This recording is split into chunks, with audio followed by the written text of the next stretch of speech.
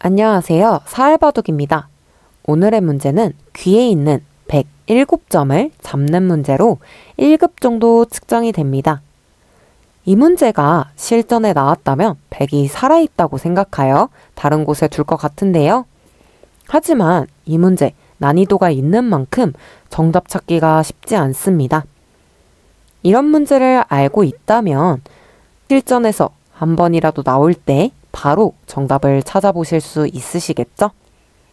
어렵지만 영상을 보시기 전에 꼭 먼저 풀어보신 후 정답을 확인해 보세요.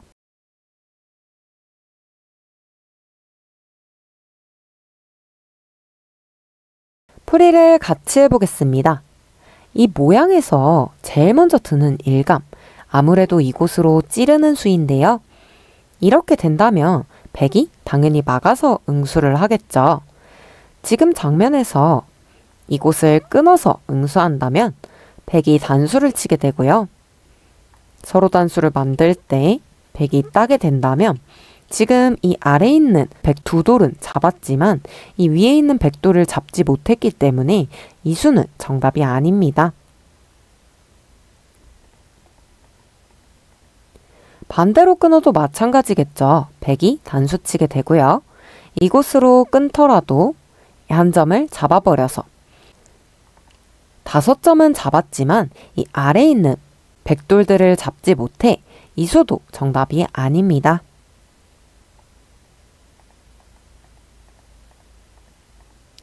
그 다음으로 생각해 볼 수 있는 수는 이 한 칸 뛰는 수라고 생각이 드는데요. 이곳으로 두게 된다면 백이 이어버려서 지금은 이곳으로 늘더라도 백이 뒤에서 맞게 되고요.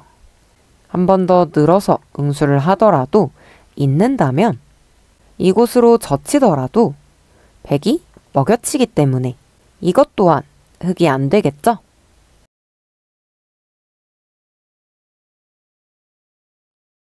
이 2에 2에 두더라도 백이 한 칸을 띄어서 응수를 한다면 지금 이곳으로 끊어서 두더라도 백이 이곳으로 흙이 나올 자를 맞게 되고요. 지금 이 두 점을 잡아서 응수를 하더라도 백이 젖힌다면 단수를 칠 때 뒤에서 단수 쳐버려서 따는 것은 바로 단수치기 때문에 착수금지로 둘 수 없어 이것 또한 백이 살아 실패입니다.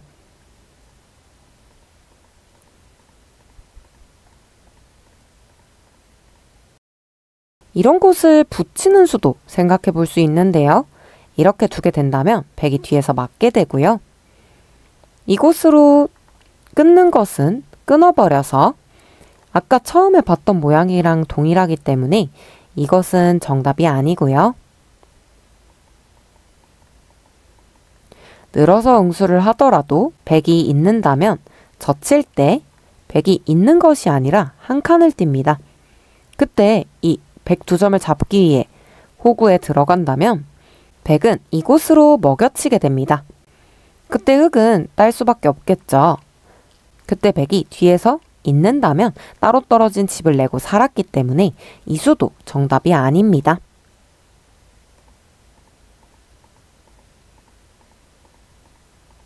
뭔가 궁도가 굉장히 넓기 때문에 어디를 두어도 쉽지 않을 것 같은데요. 지금 장면에서의 첫 번째 수, 그 수는 바로 이곳을 끊는 수입니다. 이 끊는 수를 생각보다 생각하기 어려운데요. 이렇게 끊었을 때 백이 단수를 칩니다. 그때 두 점을 그냥 잡는 수는 백이 호구치기만 하더라도 들어갈 때 이곳으로 호구 친다면 이곳으로 따로 떨어진 두 집을 못 만들게 지중을 가더라도 맞게 될 때 단수 치더라도 있는다면 따로 떨어진 집을 내고 살았고요. 흙이 이곳을 끊어서 내 점을 단수 친다면 그때는 따로 떨어진 두 집을 만들기 때문에 백이 살아 실패입니다.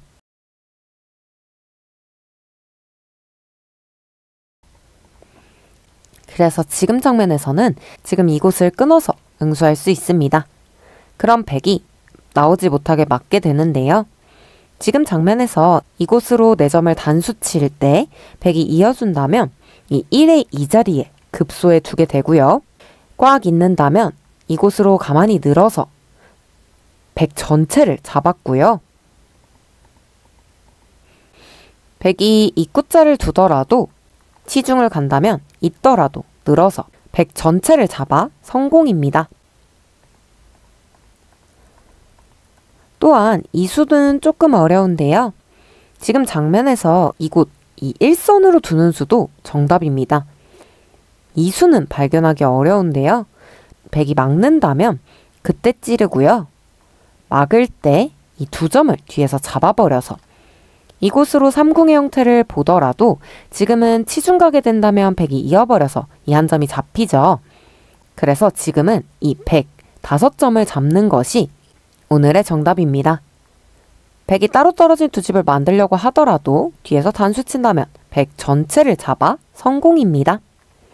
두 번째 문제로 넘어가 보겠습니다. 두 번째 문제 같이 풀어보시겠습니다. 이 문제는 흙을 살리는 문제로 4급 정도로 측정이 되는데요. 지금 보시면 아래에 있는 흙 3점이 한 집이 있고요. 반대쪽엔 아직 한 집이 없는데요. 어떻게 하면 따로 떨어진 두 집을 낼 수 있을지 영상을 보시기 전에 꼭 먼저 풀어보세요.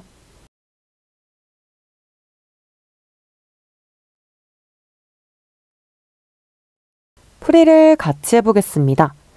지금 이곳에 한 집이 있기 때문에 연결을 해서 두는 수를 제일 먼저 생각해 보실 수 있습니다. 이렇게 된다면 백이 끊어버리기 때문에 단수를 치더라도 늘어서 딸때 지금은 백이 먹여치는 수가 있습니다.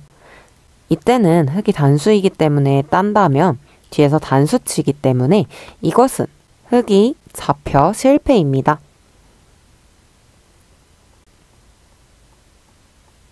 이곳으로 있는 것은 백이 바로 끊어버리기 때문에 단수를 치더라도 있는 순간 집은 낮지만 흙과 떨어져 있기 때문에 이것은 흙이 살 수 없겠죠?